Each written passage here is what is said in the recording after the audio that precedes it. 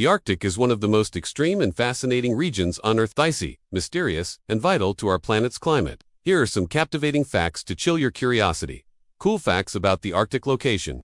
The Arctic lies above the Arctic Circle, 66.5 N latitude, encompassing parts of Canada, Russia, Greenland, the US, Alaska, Norway, Sweden, Finland, and Iceland. Polar phenomena. It experiences polar day 24 hours of sunlight. In summer and polar night 24 hours of darkness. In winter, temperature extremes. Northern Greenland has recorded temperatures as low as minus 70 degrees Celsius. That's colder than your freezer by a long shot. Wildlife wonders, home to polar bears, Arctic foxes, narwhals, the unicorns of the sea, walruses, and beluga whales. Human life.